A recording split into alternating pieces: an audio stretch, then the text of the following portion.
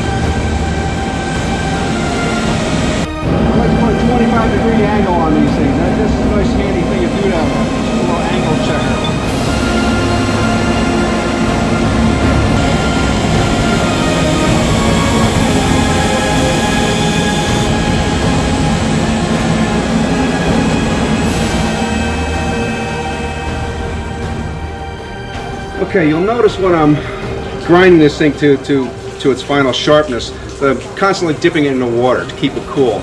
The reason you do that is so you don't ruin a temper in a steel. Now the way this works is when you make an axe and make it hard, you harden it and then you temper it. You basically to harden it, you bring a thing to 1550 or 1600 degrees thereabouts, plunge it in a quenching medium, whether it's oil or water. Now you temper it. And basically these get tempered around 400 degrees. What happens if you raise the temperature of the metal above the temperature you tempered it at, you've now lost the temper of the steel and it's now back to its basic softness. So when you're grinding something or sharpening with a, with a different style grinder or whatever, if you see those colors like blue and gold in your in the steel, you've now taken a temper out and it needs to be retempered.